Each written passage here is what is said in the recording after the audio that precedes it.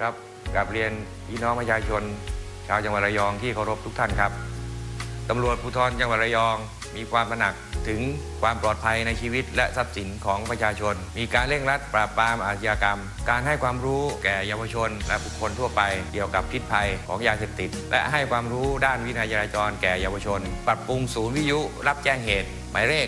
191 นะครับ เราได้เพิ่มกำลังพลเครื่องไม้ เครื่องมือในการรับแจ้งเหตุ จัดระบบอำนวยความสะดวกให้กับประชาชนที่มีเรื่องทุกร้อนทุกเรื่องนะครับ ในเรื่องการสอบสวนอำนวยความยุติธรรม ผู้กำชาทุกระดับชั้น ได้ให้ข้อกำหนดลงมาว่าต้องให้ความยุติธรรมแก่ประชาชนที่เข้ามาสู่การสอบสวนของตำรวจ